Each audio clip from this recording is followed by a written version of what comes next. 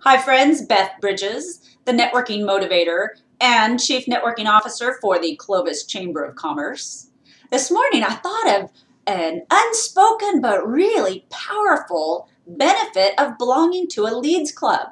Now sometimes they're called referral groups and this is a specialized networking club or group where you have one person per category. So one mortgage lender, one financial planner, one skincare specialist, and you get together on a regular basis to give leads to other people in the group and of course to get leads and referrals yourself. And referrals are of course one of the best uh, return on investment in networking because it's someone who is interested in your product or service, who's already been given a testimonial from the person who referred you, and who is expecting your call. So a leads club or referral group can be very powerful and very beneficial for your business simply because you have anywhere from 15 to 30 other people who are looking for ways to give you leads and to refer business to you. And that's the hidden or, or unspoken benefit to belonging to a leads club. Because there is something in our brains that when we start focusing on something and we start being reminded of it or we become aware of it, that we seem to see opportunities everywhere.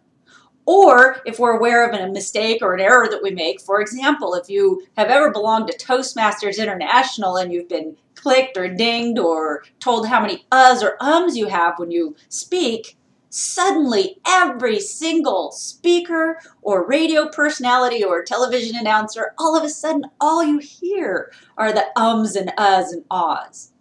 Well, when you belong to a leads club or a referral group, and once a week or twice a month, you go to a meeting where the focus and the reminder is go out and look for opportunities to refer business to other people in your club you're training your brain, you're training your mind to seek out, to look for opportunities to refer business to your business partners. It's a tremendous habit to develop because giving value to other people, and uh, what a great value it is to refer someone to a business, that is one of the most important parts of networking. So if you're thinking about joining a leads club or you're part of a referral group already, think about it. Doesn't that train your brain to look for opportunities to refer business to other people? And of course, we know what the results are of giving value to others. When you give value to others, you get value back. You get referrals back, you get leads back, and you build your business. Thank you very much. I'm interested if you're in a leads group already and you're getting great value, click like and if you have a great experience with a Leads Club or referral group, or, or even a question about making it work better for you, feel free to comment and we'll find out what other people have to say and what suggestions they have.